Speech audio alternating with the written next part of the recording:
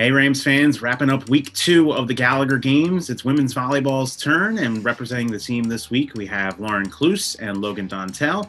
We'll see if they are indeed smarter than a fifth grader. Thanks very much for playing, ladies, and uh, we'll remind you of the rules real quick before we jump in.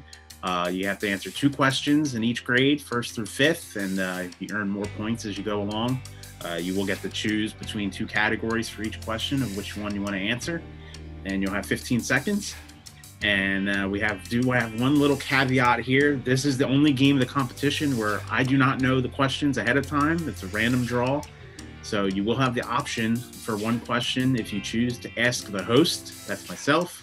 Uh, but if you ask me and you end up getting the answer wrong, maybe I don't know or I'm not sure, uh, you will lose that amount of points for that question. So use that at your own risk. So if you're ready to get going, you can start with first grade, and you have your choice of either art or reading. Oh, art. First grade art. Nice. True or false? Murals are painted on walls. True.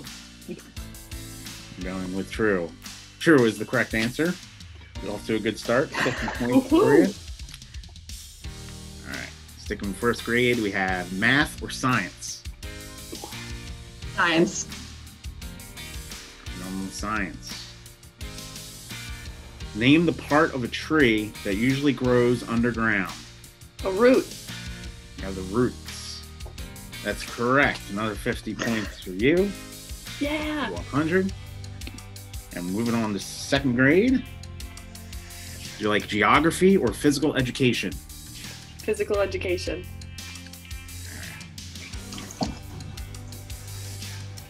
When playing ice hockey, what are you trying to hit with your hockey stick? Puck. A puck. That's correct. Easy one there. Logan, yes. 100 points for you. We're up to 200. And one more second grade. We have geography or physical education. Physical education. All right, sticking with physical education. Rings, vaulting, vaulting, and side horse are events in what sport? Gymnastics. Gymnastics is the answer. That is Oh, correct. good job, Lauren. Came Points there. We're up to 300. And now we're moving to third grade. These ones bump up to 150 each. I'm sweating. No, I'm just kidding. You have your choice of math or geography. Math. Math. All right, we're going with third grade math. True or false? A perpendicular line is one that intersects with another to form a 90 degree angle. That is true. True is the correct answer. 150 points. The Volleyball. is applauding in my We're up to 450. On a roll here. Third grade English or social studies? English. Going with English. Columbus sailed the ocean blue in what rhyming year? 1492. That is correct. yes. Way to remember the rhyme there. Really did not know that. We're up to 600 points. We're moving to fourth grade. Six for six so far. Wow. You have a Logan, of we math are. or Lauren, you're doing amazing. Wait, math or what? grammar Ooh, Math. math. at the same time. Both agree on math. Fourth grade math. Which number is the denominator in this fraction? Three fourths. Four. Four. Four is the answer. That's correct. 200 points. We're up to 800. Got one more fourth grade to go. And your choice of math or social studies. Math.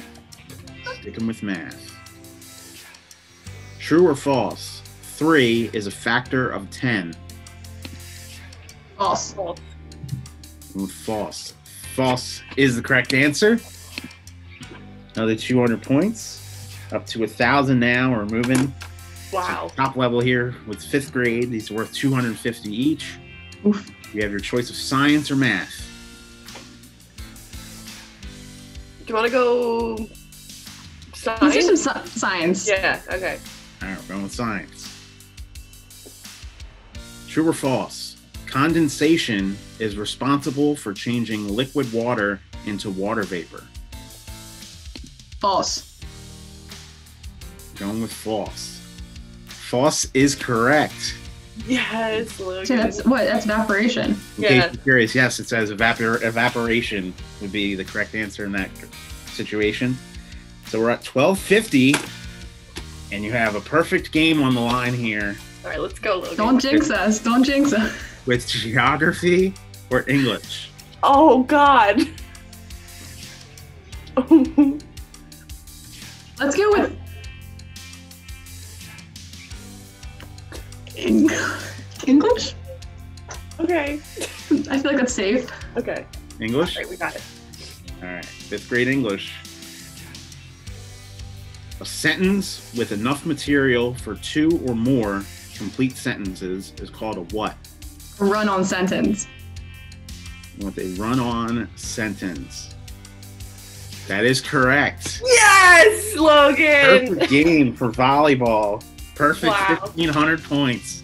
Making up some ground in the game here. Uh, that puts volleyball at 3,000 for the competition, and they're 300 points behind men's bat, or excuse me, 600 points behind men's basketball. So closing the gap. It's a great job, Logan and Lauren. Thank you. Thank you.